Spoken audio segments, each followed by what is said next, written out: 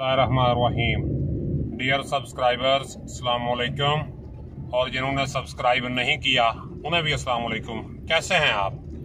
देखें यार, हमारा यूट्यूब के लिए शौक और हमारी लगन देखें कि सफ़र में भी हम आपके लिए वीडियो बना रहे हैं। तो आज जो वीडियो है मेरी, इसका उनवान जो है, वो है इसम, फेल और हर्फ। इसम क्या है, फेल क्या है और हर्फ क्या है? इसम जिसे अंग्रेज़ी में नाउन कहते हैं, ये किसी शख्स, चीज़, जगह या किसी आइडिया जिसको नज़रिया या कोई सोच, उसका जो है नाम है, उसको कहते हैं इसम। अरबिक में कहते हैं अल इसम मुसम्मा। इसम वो है जो मुसम्मा के होने पर दलील करता है। तो मुसम्मा किसे कहते हैं, जिसका नाम हो? जिसका नाम हो, वो है मुसम्मा। और जो नाम है उसको कहते हैं इसम।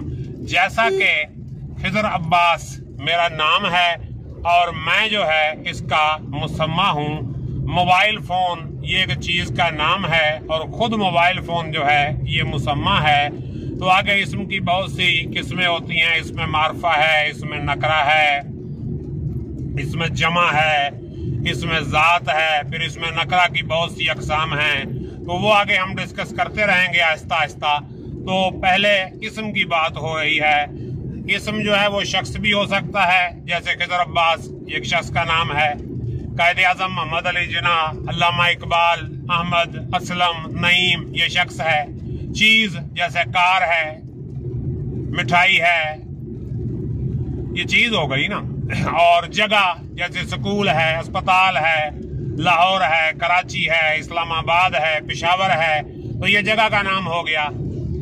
और, शख्स, चीज़, जगह और आइडिया जिसको हम कहते हैं, ख्याल, नज़रिया तस्वुर तो तस्वुर का नाम जैसे सच, झूठ तो ये क्या है? ये भी इसम है, लेकिन हम सच को देख नहीं सकते। ये एक तस्वुर है और झूठ जो है, ये भी एक तस्वुर है, हुस्न। तो ये सब इसम है, इनको इसमें मुजर्रद कहा जाता है। अंग्रेज़ी में इसको हम एब्स्ट्रैक्ट नाउन बोलते हैं। तो इसम के बाद अगली चीज़ जो है, ये फेल है। तो जितने भी लफ्ज हैं ना उर्दू ज़ुबान में, यानी हम उन्हें कहते हैं कलमा और मोमिल। कलमा जिसका कोई मानी होता है और मोमिल जिसका कोई मानी नहीं होता। जिसका मानी नहीं होता, वो तो खत्म। जो कलमा है, उसकी बुनियादी तौर पर तीन किस्में हैं, इसम, फेल और हर्फ। तो कलमे की तीन किस्में, इसम, नाम और फेल। फेल की बात कर रहा हूँ मैं। फेल कहते हैं किसी भी इसम के काम को या उसके होने को। मसलन मैं कहूँ, मैं खिजर अब्बास हूँ तो ये इसमें मेरा होना। और मैं गाड़ी चला रहा हूँ, इसमें मेरा काम करना। तो जिसमें तारीफ़ इसकी यूँ हम करेंगे फेल की, कि वो लफ्ज जिसमें किसी काम का करना या होना, बल्कि किसी काम या चीज़ का करना या होना जमाने के ताल्लुक के लिहाज से पाया जाए, उसे हम फेल कहते हैं। और आखिर में आ जाता है हर्फ। हर्फ, ये इसम और फेल के अलावा जितने भी लफ्ज हैं, ये हर्फ होते हैं। हर्फ ना तो किसी का नाम होता है, ना ये किसी काम को ज़ाहिर करता है, और ना अलग से ये कोई वाजे मानी देता है, बल्कि फिक्रे में ये इसम को इसम के साथ जोड़ देता है।